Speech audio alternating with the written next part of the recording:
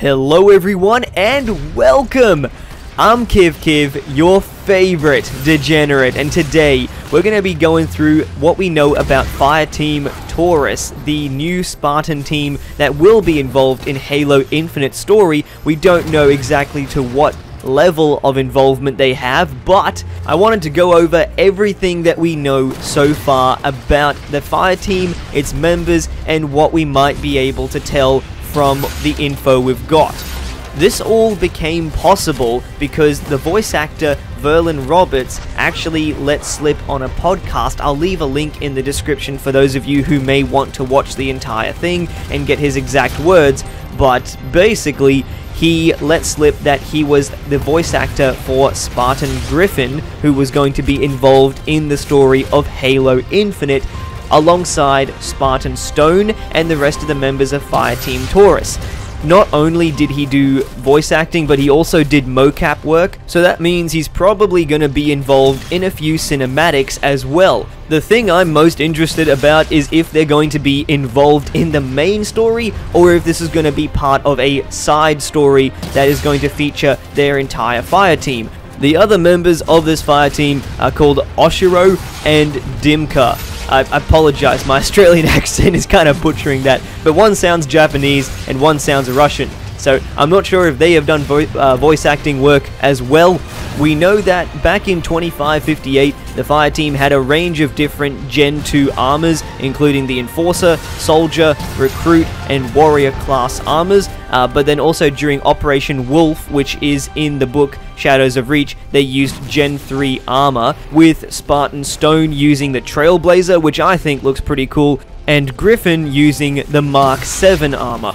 We have no idea what kind of Gen 3 armor Oshiro and Dimka wear, but uh, from the sounds of it, it looks like different characters are going to have different levels of involvement in the game because Verlon was called back for extra mocap and voice acting work, whereas the Spartan Stone actor wasn't. So I think it's probably very likely that he's going to be the leader of the fire team, uh, and this is going to allow him to be more involved in the story and will have more interactions with the chief.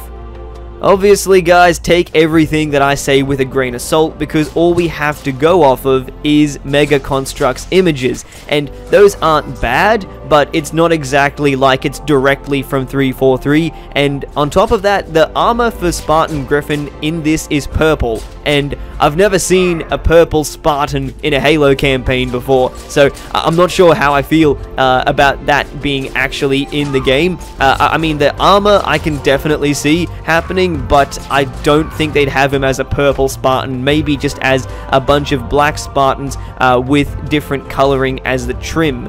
But this does open up the question to if the Chief is going to be meeting a whole bunch of different Spartans while he's on the ring, or if this is kind of a rare one-off sort of thing. Uh, it, there's a lot of possibilities.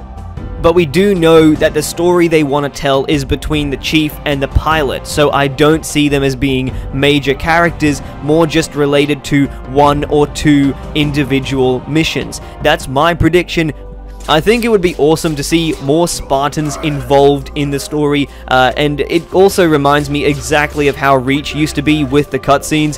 Having a team of Spartans for the Chief to work with is an insanely good idea, and they would be stupid not to do it because it would be such a nice change of pace going from babysitting Marines to actually having Spartans that are on par with the Chief like if you actually end up coordinating with them to take down like a banished stronghold or something, that would be awesome as far as I'm concerned.